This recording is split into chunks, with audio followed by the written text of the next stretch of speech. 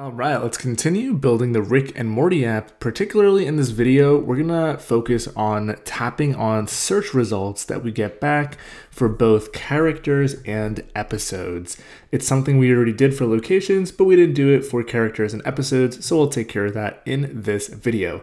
Before we jump into things, hit that like button down below, comment your most recent emoji so you'll let me know you're still with me in the comments down below, and let's continue.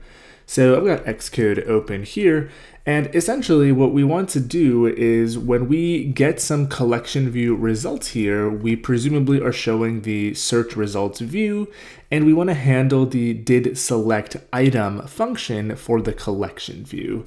So what I'm going to do in Xcode is search for rm search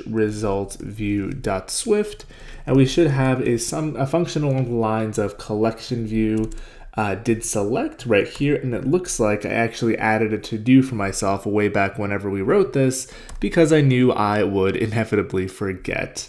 So let's actually handle this. Let's figure out how we want to handle this. Well, we can do one of two things. We can switch uh, on the type of result here and then use the delegate to levy the selection back to our whatever object we'll push the controller or we can have a generic delegate function and pass back the type.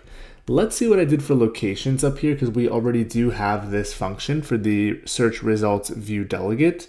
And it looks like what we did is we used the index of the selection. So let's see why we did that. Um, the reason we probably did that, well, let's see, let's copy and paste this and let's see where I actually implement that function because it's a lot uh, it's a lot easier to keep track of this stuff when you actually look at it. So let's see where this is implemented. So here what we're doing is we're saying view model location search result at index. We're basically asking the view model, hey, give me the result at this position.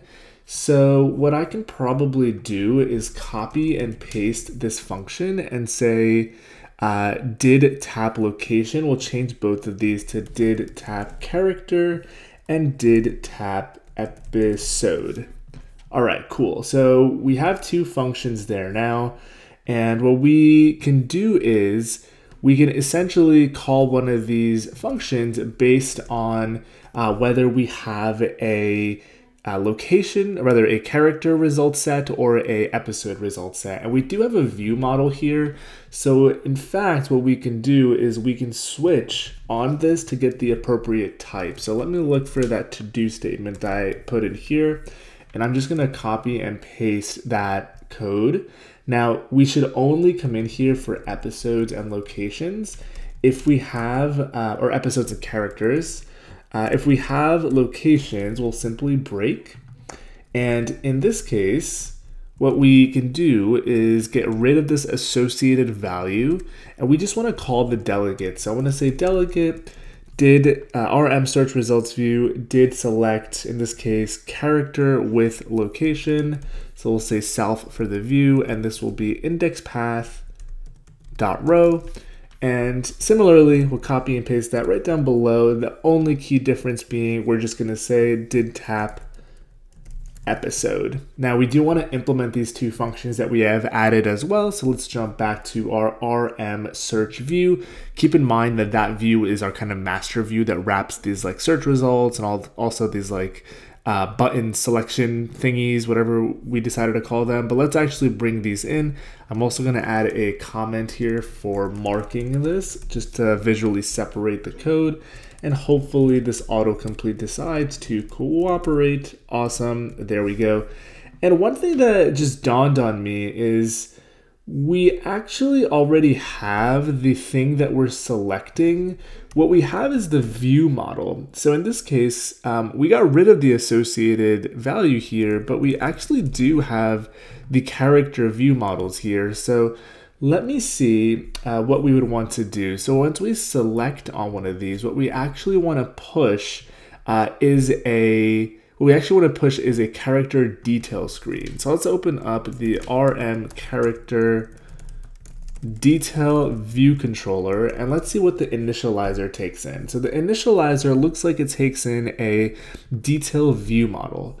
And the way that we create a detail view model is by passing in a character. Okay, so this is going to be interesting because what we have there is a view model. So let's swipe back and let's get rid of this associated value again. And let's handle the character. So let's come into here and similar to the location case, we are going to want to ask our search view model, hey, give me a character. We're gonna say, give me a character model for this position. So this is location search results. I'm gonna call this character search results, add index path. Here we're saying RM search view did select location. We're gonna wanna make this character as well. Now this function does not exist, so we'll need to create it up above. Bear with me in all my copy and pasting. We'll swipe up here and here we have that location variant of the uh, function. We will create it for a character, character, and the model type will be a character. So, okay, so that part looks good. Let's come into our location search result at function and we're going to see how it's implemented so we can do the exact same thing for characters.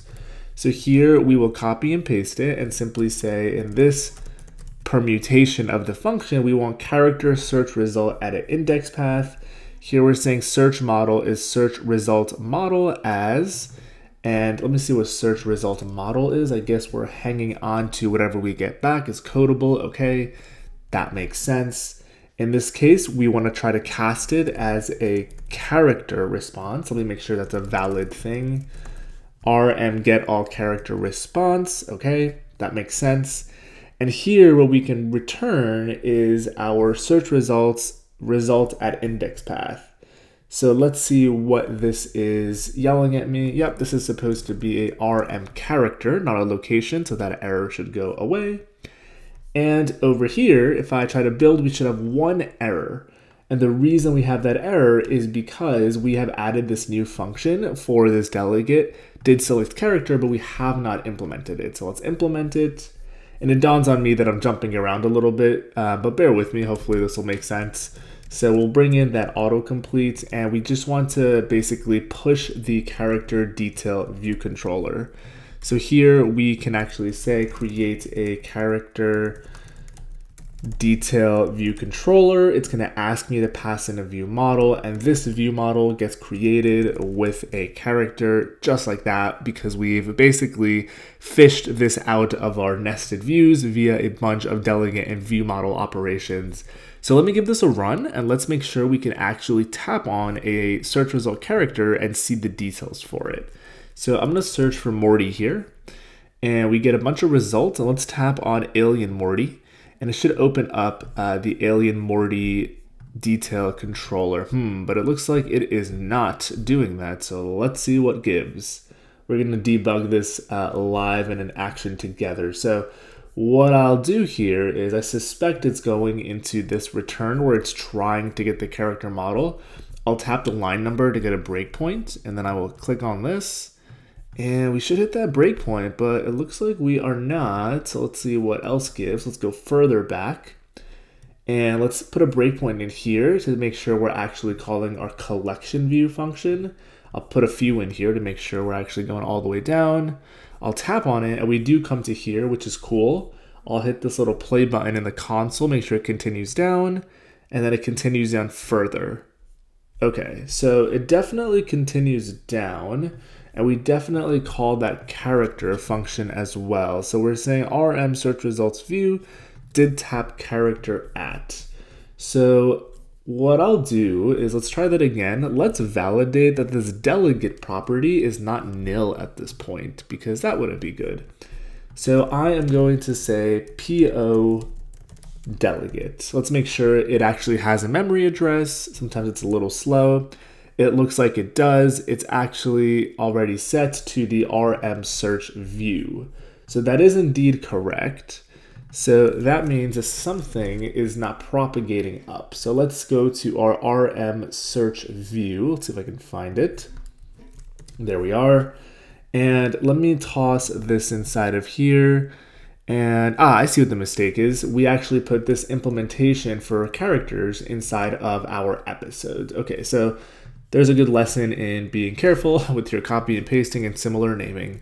So let's try this again. Build and run. We're gonna go into search. We're gonna search for, ah, not character. We're gonna search for Morty. And we wanna tap on Alien Morty and boom, we've got Alien Morty details opening up. Awesome. Let's get this wired up for episode and then we'll test that out and wrap up this part in our series. So this is going to be extremely similar. What we can do is basically, actually before I do that, let me see what uh, the episode controller wants to be created. So we'll say rm episode detail view controller. This gets created, it looks like with a URL for the episode. Okay, so that's interesting.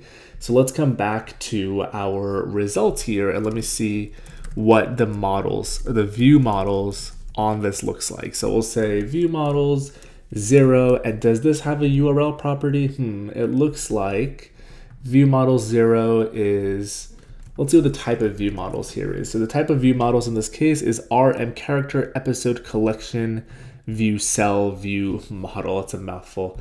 So let's open that up. RM character uh, episode collection view cell view model does this have a URL on it? Episode URL. It looks like it does, but it's private. So instead of uh, making this public here is we'll just copy the same consistent pattern that we've been doing for the other uh, types of results. And we'll just continue with that semantic to make sure everything is nice and consistent. So that means going back to, let me close up all of these. That means going back to our RM search view and we're going to copy and paste this. And what we'll do here is we will say episode URL equals viewmodel dot episode search results URL at index path. Let me make that capitalized. And uh, what we will do is we will jump into, and actually let me just return the entire episode here. It's probably simpler. We'll jump into our view model here and implement that function.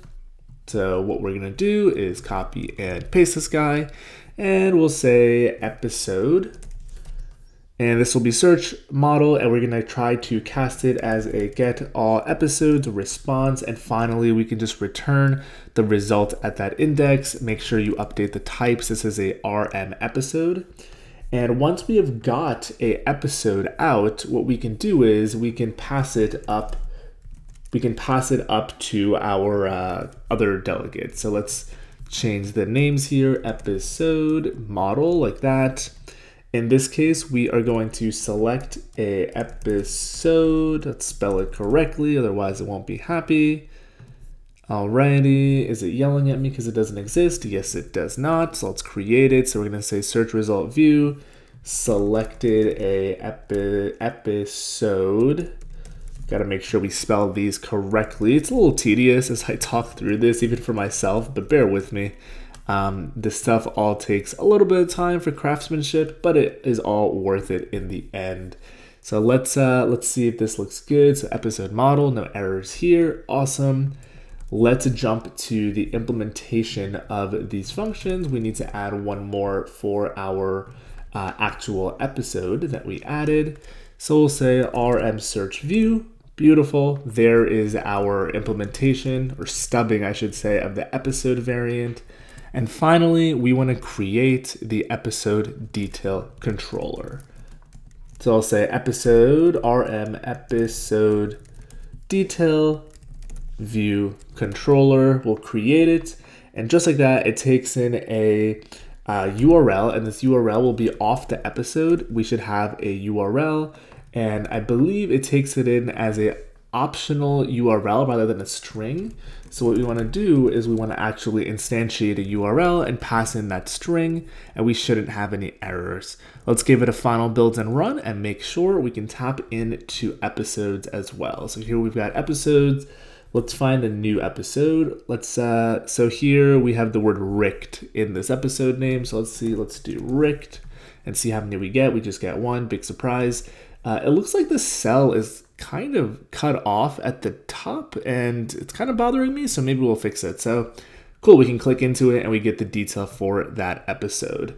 Uh, let's see why it looks like that because it's kind of ugly. So it's going to be in RM search results uh, view.swift and what we are looking for is our layout here. We're using a compositional layout if I'm not mistaken. So let's see, if current view model is character, uh, we're actually using a flow layout. So what we actually want to do is specify some insets. So I think I already did that somewhere here. So we specified section insets and we said the top inset is actually set to zero. Let's make it 20. So this is the section inset for our result. And let me make sure this still looks good for all of our cases. Cool, we've got some space at the top there. Kind of looks a little big, but I guess it's better than being cut off. Let me make sure it looks good here. Okay, cool. So it looks much better. Maybe we'll actually even make it 10 to uh, curb my OCD. And uh, yeah, that's all I've got for this video. So in the next part, um, what I want to do is, and I believe that'll be the next actual like development part, is we have a bug for the location spinner that doesn't go away. Let's make sure it actually still doesn't go away. All right, so in the case of normal locations, yeah, see, we still see the spinner at the bottom here. We got to figure out what gives. Why is this still showing up? Because that is no bueno, and it should stop showing up after we don't have any more results. So we will do that in the next video. It might be brief, but make sure you hit that like button before clicking away to the next video. And thanks for watching. I will see you guys there.